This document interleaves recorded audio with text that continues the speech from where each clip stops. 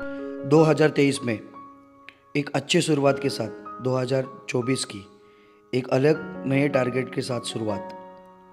One million पल का target new tank second tank activation आप देख सकते हो बायोलॉजिकल फ़िल्टर का इंस्टॉलमेंट चल रहा है।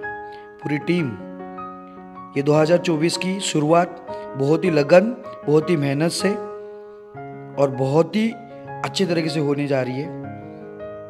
2024 में वन मिलियन का जो टारगेट है, कहाँ ना कहाँ पे हम लोग इसको कंप्लीट करने की कोशिश कर रहे हैं। मिलते हैं बहुत ही जल्दी विथ न्यू अपडेट्स